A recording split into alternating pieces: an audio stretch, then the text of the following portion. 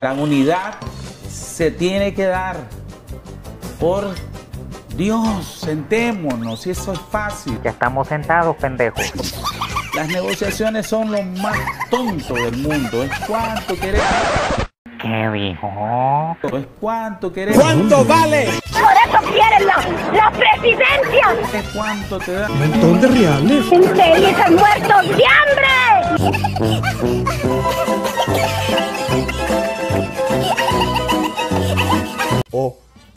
Oposicionismo.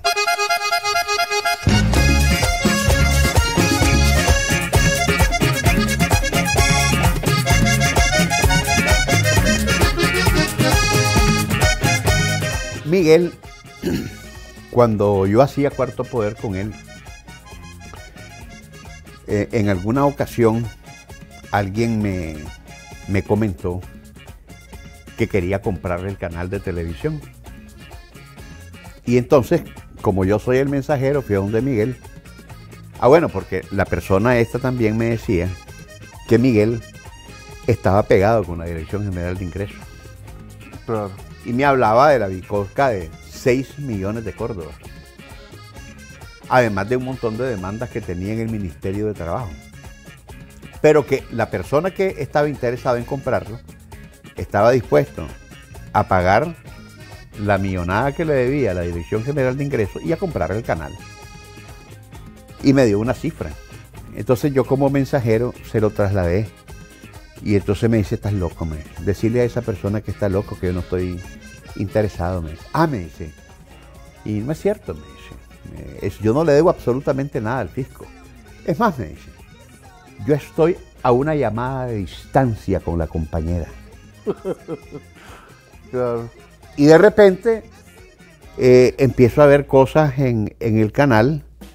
eh, una camarita de esas con la que estamos haciendo el programa Claro. no son centavos, no son Claro. cinco bollos lo que cuestan. Sí. Y de repente yo veo cinco cámaras, veo una grúa, veo el máster de, de controles totalmente cambiado. Y, y todo recién de un viaje a Nueva York. Justo antes del golpe. justo antes del golpe. Y de repente veo una Toyotona con todos los fierros, una, una Prado, por cierto, roja y negra, se la compró, ¿verdad? Eh, y le pregunté, Chocho, hermano, te felicito, estás, estás progresando. Pero uno que maneja, eh, ahora que tengo la experiencia de trabajar en un canal de televisión, y además por lo que en otras latitudes uno sabe cómo es que se maneja un espacio radiofónico, sabes que para que tengas ciertas cosas debes de tener una entrada interesante y considerable. Y cuando se trata de un canal de televisión todavía. Y entonces eh, de repente veo que la línea editorial empezó a cambiar. Y entonces el, el programa eh, que antes éramos él y yo los que estábamos en la misma sintonía, empezó a, a cambiar la, la correlación de fuerza y después eran tres contra uno y después cuatro contra uno, el uno era yo, ¿verdad? Miguel estaba del otro lado.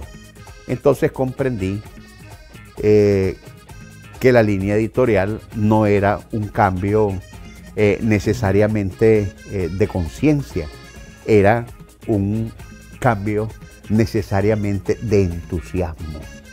De manera que eh, después conocimos lo que pasó.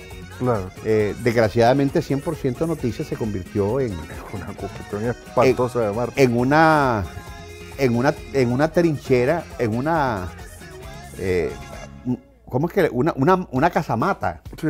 una, una- donde se emplazó una 50 para disparar contra la estabilidad de todo el país y crear Sí.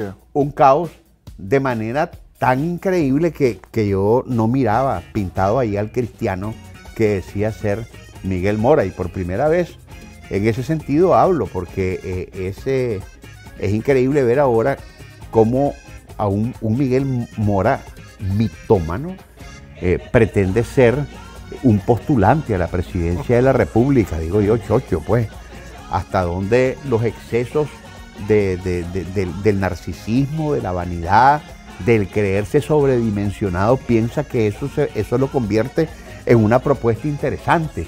cuando el pueblo de Nicaragua tiene más bien que reclamarle a Miguel porque es cohechor de esa gran cantidad de muertos que desgraciadamente surgieron en, en el 2018.